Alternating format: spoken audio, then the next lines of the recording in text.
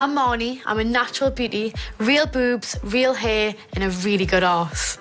There's nothing fucking natural about her. She's had two nose jobs, her lips reconstructed, more Botox and fillers than Janice fucking Dickinson, and a boob job. Fuck off. Natural.